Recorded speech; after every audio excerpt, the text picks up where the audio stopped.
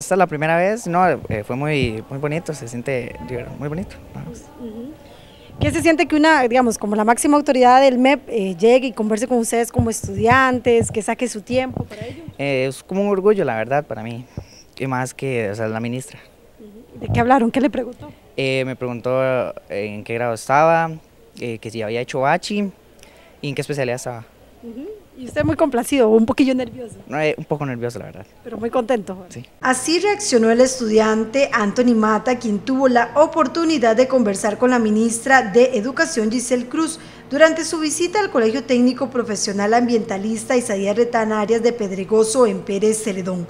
El joven se mostró complacido por la sencillez de la jerarca, quien después de ser recibida en la institución se dirigió a los estudiantes. Lo vemos desde que uno empieza el recorrido entrando a Pérez, se ve la diferencia, se ve el esfuerzo, se ve la INCO que hacen sus profesores, sus directores y esto se mueve gracias a todo el esfuerzo que hacen ellos, que hacen ustedes, que la tarea más importante que tienen es cumplir con el estudio, estudiar cada día más para salir adelante y también a sus papás. Muchas gracias por ese esfuerzo que hacen de mandarlos todos los días al cole, aunque a veces algunos digan que pereza, está lloviendo, que frío, pero hay que llegar al cole, a venir a aprender, a compartir, a pasarla bien. La titular del MEP estuvo acompañada por los viceministros Melania Brenes, quien está a cargo del área académica, Steven González del área administrativa y Paula Villalta al frente de planificación institucional y coordinación regional. Es muy lindo el encuentro con los estudiantes, sabemos de sus necesidades, pero también del esfuerzo que hacen las familias y que hacen ellos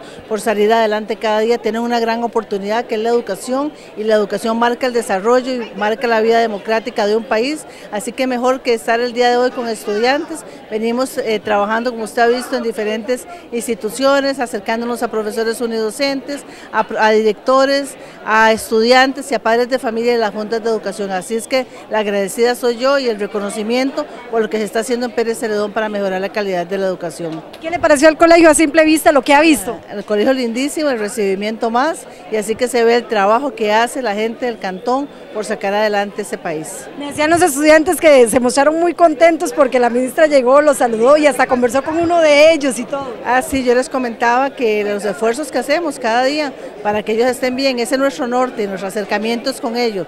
De ellos aprendemos y nos debemos todos los días. También se hicieron presentes todos los directores regionales del país, quienes después tuvieron una reunión con la jerarca. Para el director del colegio, esta es una gran oportunidad para mostrar la institución. Hemos tenido el privilegio de que los cuatro ministros, tres ministros de educación anteriores, excepto don Edgar Mora, eh, hayan estado acá.